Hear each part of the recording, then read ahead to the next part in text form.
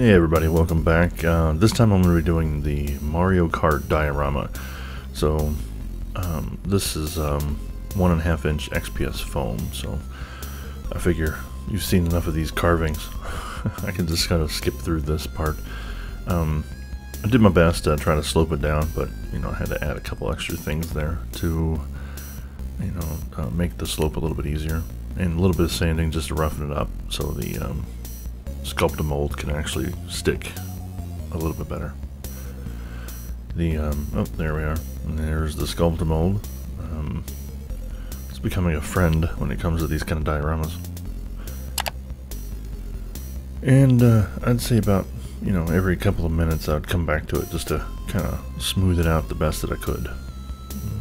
But it's going to be covered up, so it doesn't really matter too much. Alright, so as I say, the primary thing for this is uh, felt. So this is just some generic um, felt. It comes in multiple colors. Um, it's about 33, 50 cents, something like that a piece. Um, I'm pretty much eyeballing all of this, so I'm just kind of cutting out little piece by little piece. And then I'm going to cut it um, with, I think, scissors. Scissors is about the only thing that actually cuts this stuff. Uh, I try to cut it with a hobby knife and everything like that, and it just doesn't, it just doesn't cut it. I don't know. But uh, there it is. And so once I finally get the shape, then I go back and, and sort of do that little Mario Brothers grass um, curls. And then, you know, throw some glue down there and then and tack it down. The nice thing is that glue really helps sort of stretch it out a little bit. And so you gotta keep kind of playing around with it until the glue sets up a little bit. but uh, but I'm leaving that little edge open because I'm not really sure what to do about it on the right there. I haven't glued it down completely just because I think I'm at this at this point I'm thinking I'm going to do something else, but I don't. But um, now that I figure out how to work with the the felt, I just gonna ahead and uh, do the rest of the green green grass. Um, and this is just I think nutmeg paint from uh, Apple Barrel, nothing fancy, just to paint the rocks and then I go back and then sort of touch up some areas with um, like a chocolate brown. And this is just, you know, felt that I've used. Um, just a little lighter version just for the highlights of the grass to kind of make it look more like the video game.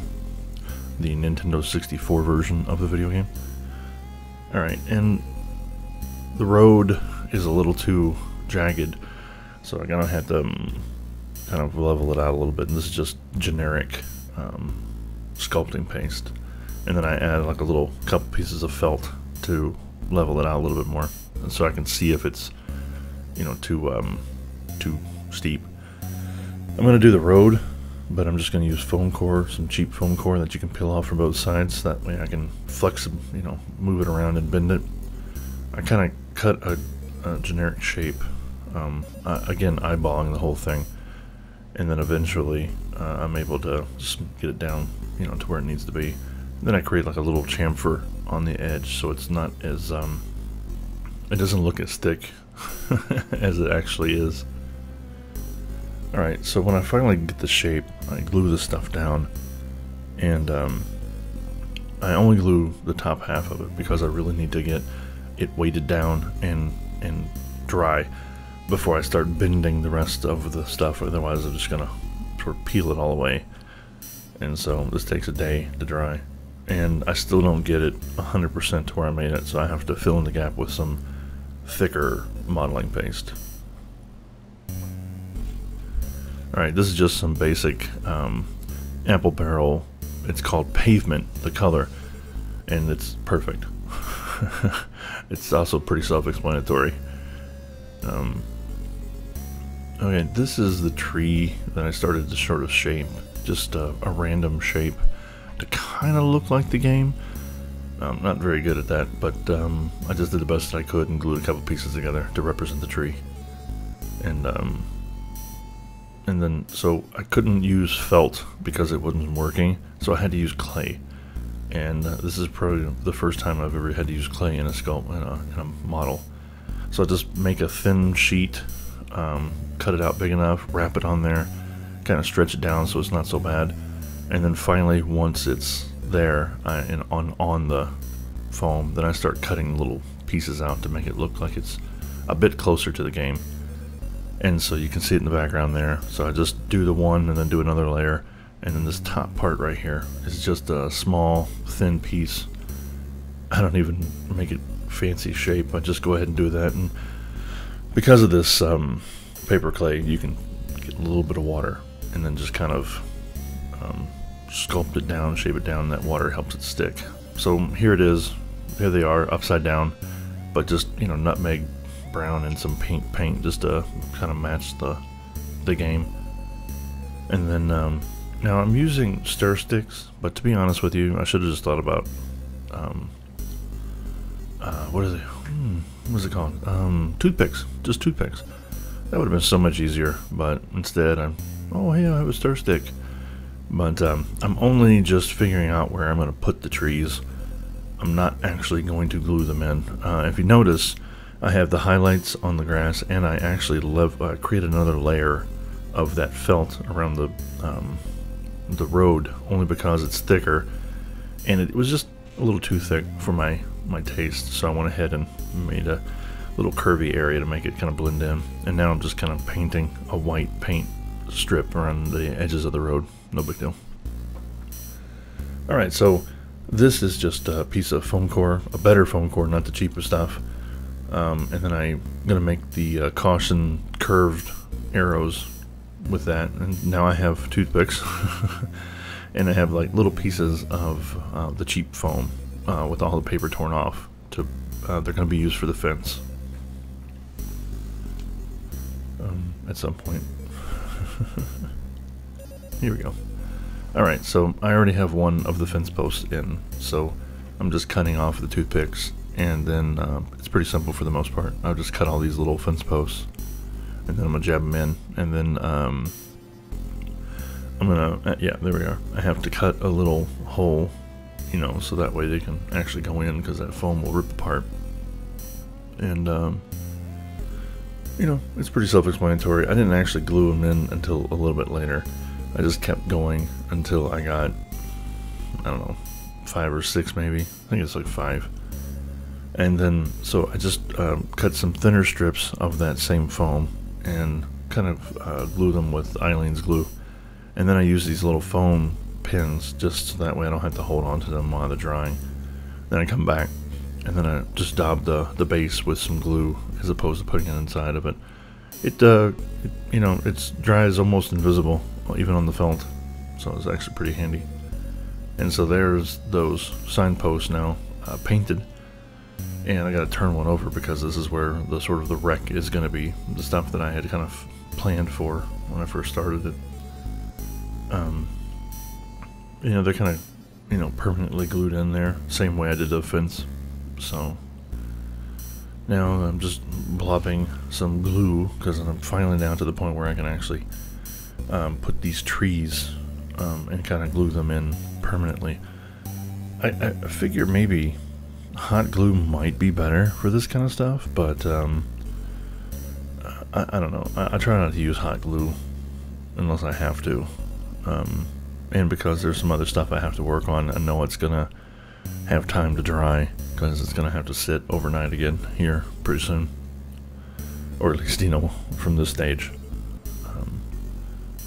Alright, so here are the base toys that I have from Hot Wheels. Um, they only have like five, I think. So I got Mario, Luigi, and um, Bow uh, Bowser there. So Bowser's to be knocked out. Now, I was to do some sort of thing where he was like up in the air and all this other stuff, but I dropped it because it's so lightweight. I dropped it and it kind of fell right there on the sign, and it was sort of perfect. It was just enough to emphasize what's happening um, without me having to do a whole lot extra for it. So once I figured that out, I went ahead and just got some hot glue out because the Aleene's glue wouldn't work for these. They're just too heavy.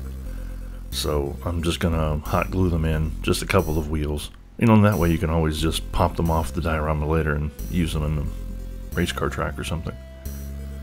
But, um, alright, so I sped this up because I'm doing the green turtle shells um, for ammunition. So um, again, I'm not very good at sculpting here. This is probably the third thing I've ever done.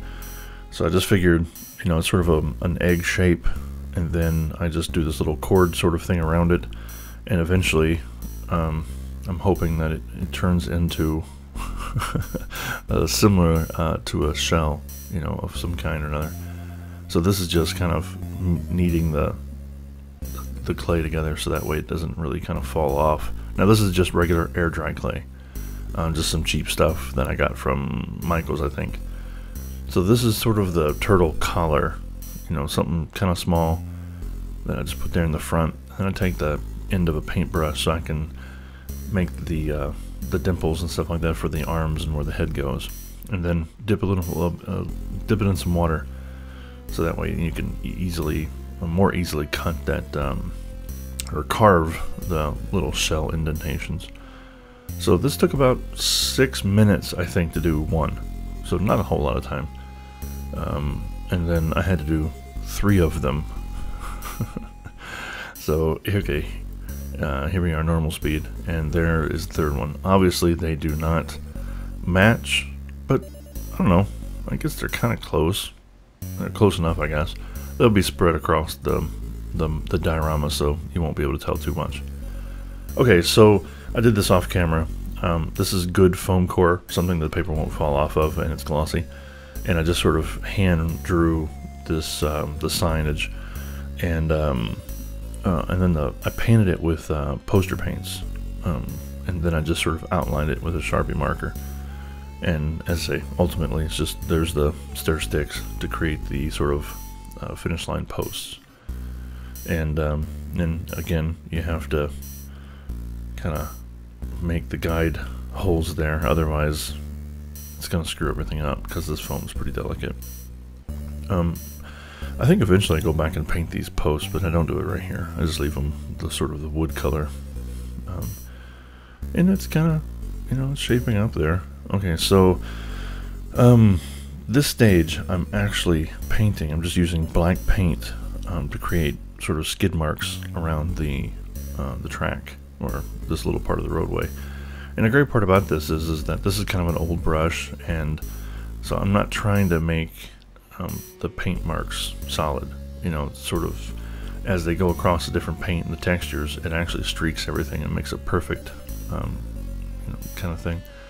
So this is um, some parchment, mm, like off-white color with a little bit of yellow to try to, uh, to create the bottom paint, and then just a medium tone green, um, nothing fancy.